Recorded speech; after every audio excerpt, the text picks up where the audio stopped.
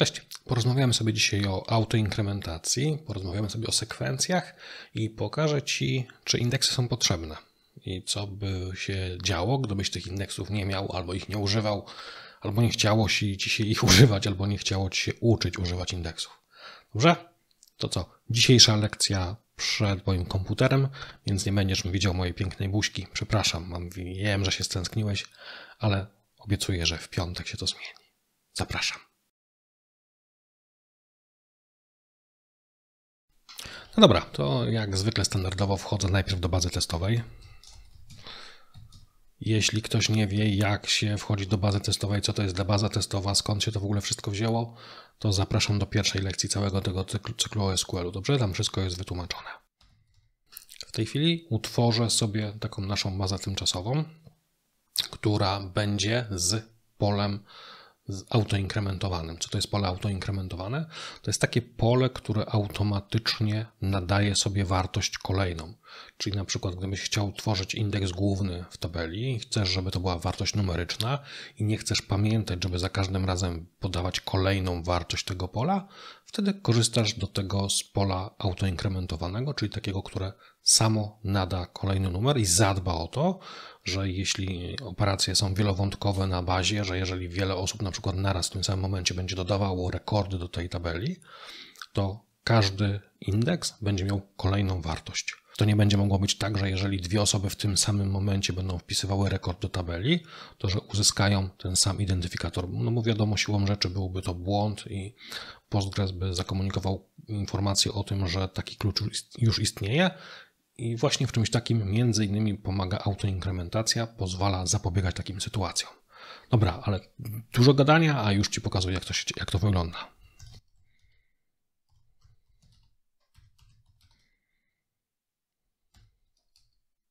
Stworzyłem tabelę name, names tak naprawdę, stworzyłem tabelę names, gdzie utworzyłem jej pole ID, które jest typu serial. To jest właśnie to pole autoinkrementowane i ustawiłem to pole od razu jako klucz główny.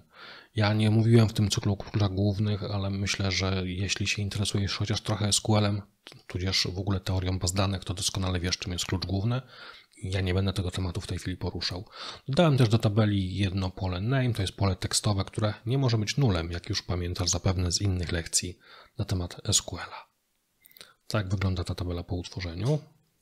Jak to działa? No to już sprawdzimy sobie.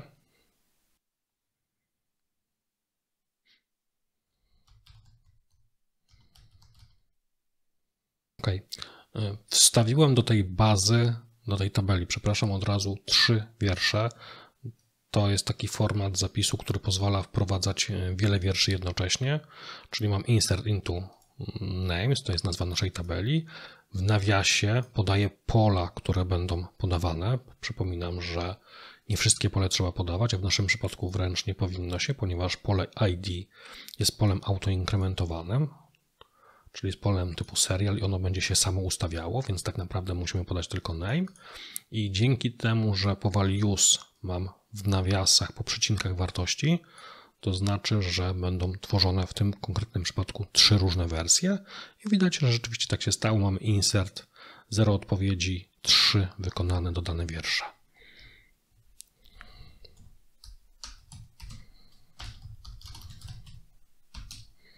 Zgadza się? Jak najbardziej. Select gestka from names, czyli pobieram wszystkie wartości z tabeli names i co mamy? Mamy pole ID, które przypominam jest tym polem autoinkrementowanym i ono ma po kolei wartości 1, 2 i 3, czyli to zadziałało dokładnie tak, jakbyśmy chcieli, żeby zadziałało. Mamy pole o ID 1 Adam, 2 Michał, 3 Filip. Dokładnie o to chodziło.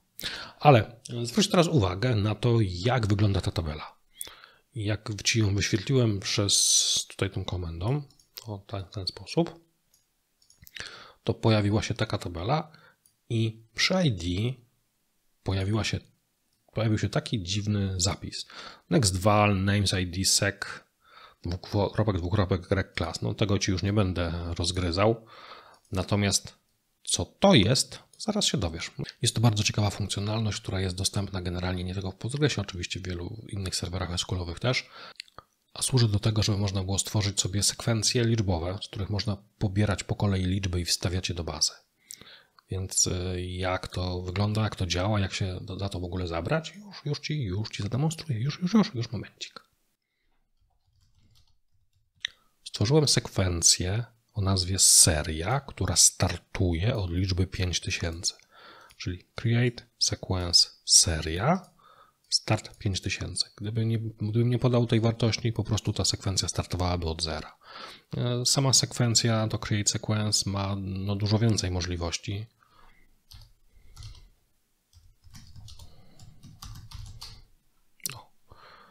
No, sekwencja może być tymczasowa, może być stworzona tylko jeśli nie istnieje już taka sekwencja, i e, tak dalej. Widzisz, może być minimalna wartość, brak minimalnej, maksymalna i tak dalej, i tak dalej. Jest tego, tego dużo więcej. Ja tego nie będę opisywał, chcę Ci pokazać tylko podstawę, jak stworzyć sekwencję, jak z niej korzystać.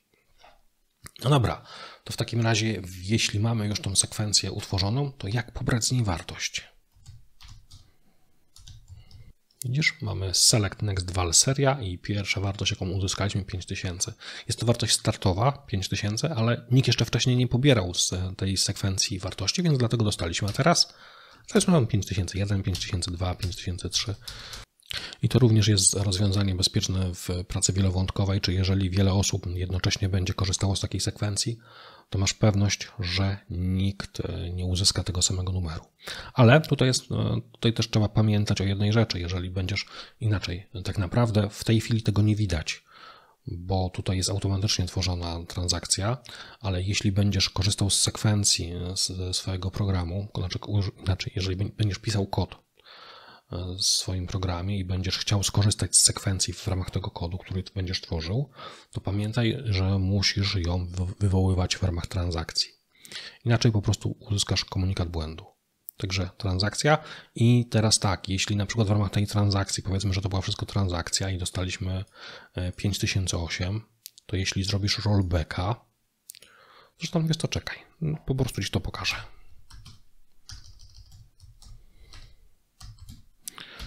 Jest begin i zobaczmy sobie. Tak, dostaliśmy do 5012. Robimy rollbacka. I widzisz, mimo że zrobiliśmy rollbacka, to kolejna wartość, jaka przyszła z sekwencji, to jest 5013.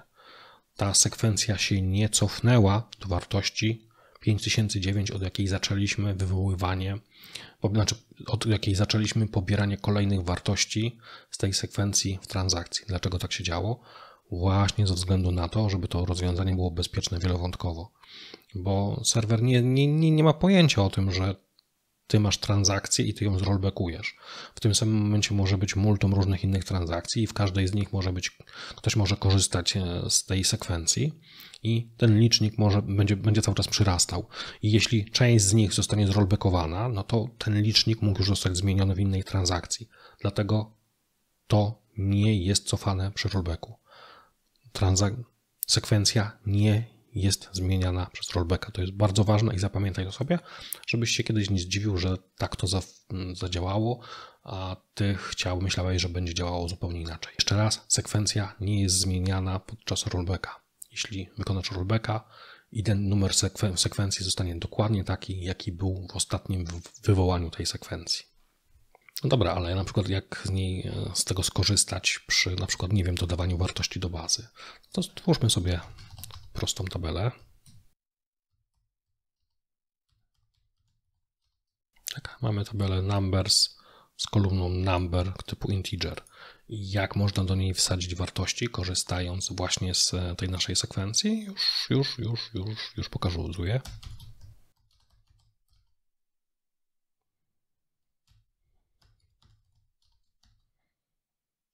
Widzisz? Zrobiliśmy podobnie, jak to mieliśmy przy było w przypadku dodawania do tamtej tabeli e, names, tak? Insert into names i mieliśmy, tylko tutaj było podana na jawnie nazwa kolumny, do której są podane wartości, a w naszym przypadku nie ma. Nie ma czegoś takiego, mamy insert into numbers values. Nie ma potrzeby, ponieważ mamy tylko jedną kolumnę, kolumnę typ number, która jest typu int i wiadomo, że wartości, które wstawiamy, muszą trafić do tej kolumny. Pobieraliśmy te wartości w naszej sekwencji i co mamy? I mamy kolejne wartości naszej sekwencji. Pamiętasz, ona się skończyła na 5013, teraz mamy 5014, 15, 16. Czyli zadziałało to dokładnie, dokładnie jakbyśmy chcieli. I teraz tak, i czy sekwencję można usunąć? Taka sekwencja można usunąć, robi się to przy pomocy komendy drop. Nie ma, nie ma, nie ma, nie ma sekwencji. Skończyła się. Po prostu sobie poszła do piachu. No dobrze, to teraz zajmiemy się jeszcze tymi indeksami. Jestem już w tej chwili na moim komputerze w firmie i jestem w bazie testowej, takiej, która już jest normalną bazą produkcyjną, aczkolwiek jest to baza demonstracyjna, także tutaj nie możemy w razie czego nawet nic za bardzo namieszać. Zobaczmy sobie, jak, na jakiej tabeli będziemy pracowali, jakiej wielkości. OK, E, mamy tabelę e, z 13 milionami, prawie 14 milionami wierszy. Tak?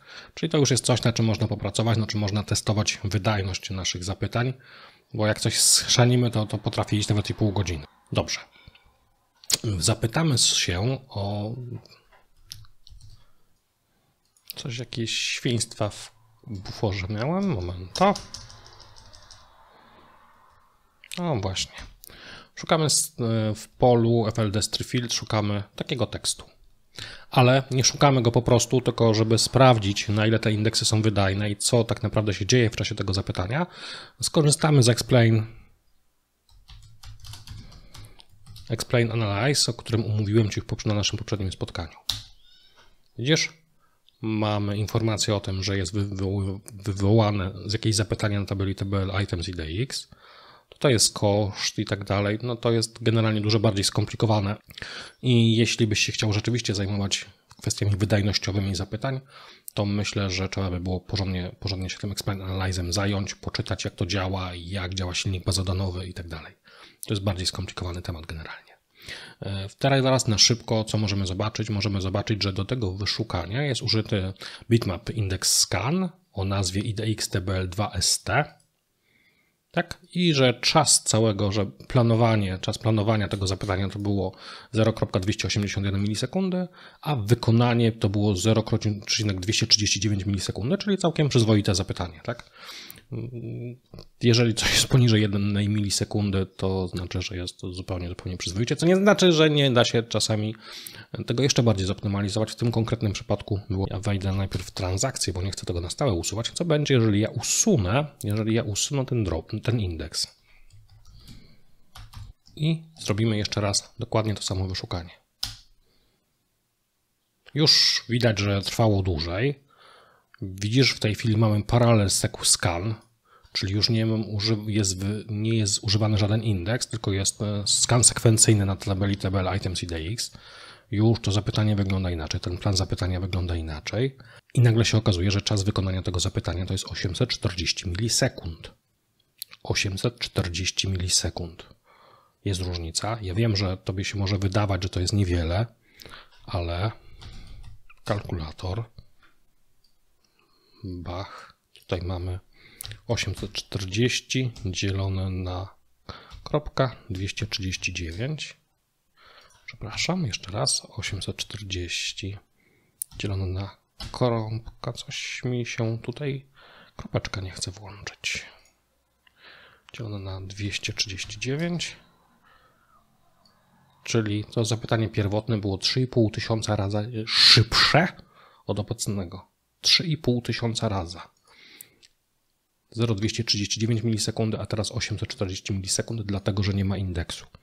Więc jeśli nadal się zastanawiasz, czy indeks jest ważny, to tak. Jeśli chcemy wyszukiwać, indeks jest ekstremalnie ważny, ale po pierwsze to musi być dobry indeks.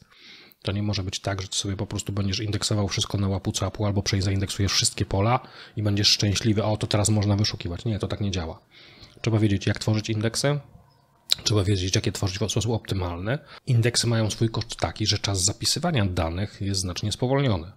Jeśli zapisujesz dane do tabeli bez indeksów, to ten zapis jest natychmiastowy, ale każdy indeks dodany powoduje znaczne spowolnienie tego zapisu. Więc jeśli wykonujesz dużo operacji zapisu, albo jeśli na przykład robisz jakiś import bazy, gdzie wiesz, że tych wierszy będzie bardzo dużo, to będzie kilka, kilkanaście, kilkadziesiąt, czy nawet kilkaset milionów wierszy, to bezwzględnie pamiętaj o tym, żeby najpierw z tabeli usunąć indeksy. Kasujesz indeksy, wrzucasz dane do bazy, następnie odtwarzasz indeksy i gwarantuję Ci, że ta operacja będzie nieporównywalnie szybsza niż gdybyś zostawił te indeksy i gdyby one były odtwarzane w czasie wykonywania tych insertów do bazy. Po prostu tak się nie robi. Tak się nie robi, to jest ogromny błąd i, i możecie kosztować to masę, masę, masę czasu i to liczonej w godzinach. Jeśli to będzie rzeczywiście bardzo duża baza, to różnica w czasie wykonania tych operacji może być liczona po prostu w godzinach, nie, nie w sekundach czy minutach, tylko w godzinach. Ok, to to by było wszystko. W przyszłym tygodniu postaram się porozmawiać o datoczasie. O datoczasie, bo o to też byłem pytany i tym e, odcinkiem o datoczasie myślę, że zamknę ten cykl SQL-owy już na dobre. Potem się pewnie będą pojawiały jeszcze jakieś od czasu do czasu odcineczki, ale cykl jako taki będzie zamknięty w przyszłym tygodniu. Na stałe. Dziękuję Ci pięknie i do usłyszenia. Pa, pa.